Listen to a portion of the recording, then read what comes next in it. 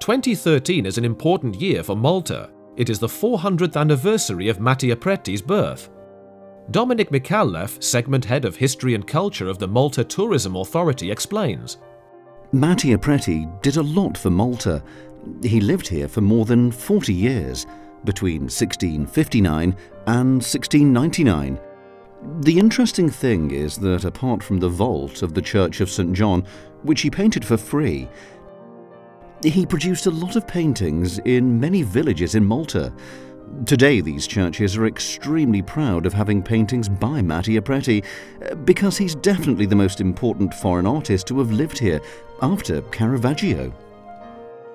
Malta has decided to celebrate the great artist from Calabria, starting with an important exhibition that for the first time puts together paintings from the greatest European museums such as the Prado, the Louvre, the Vatican Museums and the Uffizi of Florence.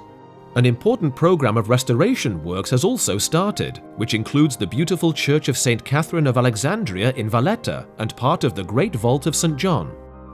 But Mattia Preti's 400 years are above all a splendid opportunity to rediscover works by the great artist scattered around Malta and Gozo. It's an unusual tour which will take you outside of the traditional tourist routes, allowing you to discover the timeless atmosphere of Malta's mainland villages with their baroque squares and churches with picturesque interiors. It will make you fall in love with this island, just as the great Italian artist celebrated today did four centuries ago.